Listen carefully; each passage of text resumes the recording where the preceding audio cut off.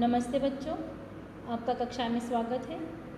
आज हम हमारे स्पर्श भाग एक से रैदास इसके पद पढ़ेंगे। तो क्या है वो हम इस पद से जानेंगे।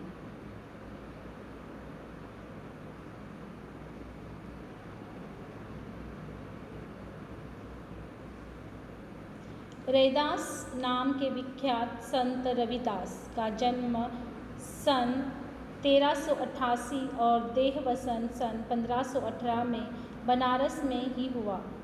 यानी ये जो पद लिखे हैं, इनका नाम है रैदास और ये एक संत थे और उनका नाम रविदास था और उनका जन्म तेरह सौ और उनका देहवसन या देहवसान यानी मृत्यु सन 1518 में, यानी लगभग देखो आप 100 साल के ऊपर के हो हो गए थे तभी इनकी मृत्यु हो गई थी। ऐसा माना जाता है।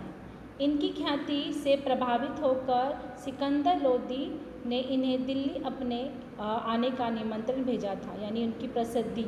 या बहुत मशहूर थे ख्याति यानी बहुत वो मशहूर थे और उनसे प्रभावित होकर जो दिल्ली के गद्दी पे बैठने वाला जो सिकंदर था, उन्होंने उनको दिल्ली में निमंत्रण यानी बुलाया था। मध्ययुगीन साधकों साधकों में रैदास का विशिष्ट स्थान है। कबीर की तरह रैदास भी संत कोटि के कवियों में गिने जाते हैं। कबीर अपने नाम सुना होगा, कबीर के दोहे, कबीर, हमने इससे पहले भी कबीर के बारे में जाना था कि कबीर की तरह ही ये रैदास भी संत कोटि में माने, गिने जाते हैं। मूर्ति पूजा, तीर्थ यात्रा जैसे दिखावे में रैदास का ज़रा भी विश्वास न था।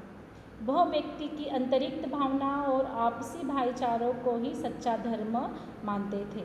वो व्यक्ति के आंतरिक भावना, यानी जो फीलिंग्स होते हैं और आपसी भाईचारा, यानी एक दूसरे से हम कितने से अच्छे से प्यार से रहते हैं, वो ही, वो उनको ही वो सच्चा धर्म मानते थे।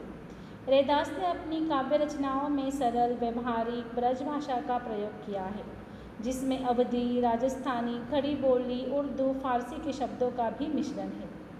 रैदास को उपमा और रूपक अलंकार का विशेष प्रिय है। सीधे साधे पदों में संत कवि ने हृदय के भाव बड़ी सफ़ाई से प्रकट किए हैं। इनका आत्मनिवेदन, दैन्य भाव और सहज भक्ति पाठक के हृदय को उद्वेलित करती है। रैदास के चालीस पद सिखों के पवित्र धर्म ग्रंथ गुरु ग्रंथ साहब में भी सम्मिलित किया है। यहाँ रैदास के दो पद दिए गए हैं। पहले पद में, प्रभु जी, तुम चंदन, हम पानी में कवि अपने आराध्य को याद करते हुए उनसे अपनी तुलना करते हैं।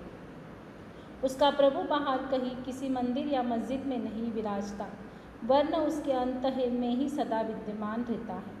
और यही नहीं, वह हर हाल में, हर काल में उससे श्रेष्ठ और सर्वगुण संपन्न है। तो वो वो इन पदों के ज़रिए हमें बताना चाहते हैं कि प्रभु कहीं पर नहीं है। प्रभु ना मस्जिद में है, ना मंदिर में है। वो हर एक इंसान के मन में है। तो इसीलिए ये रहता सिर्फ़ एक दूसरे से प्रेम करो, यही हमें वो सीख देते हैं।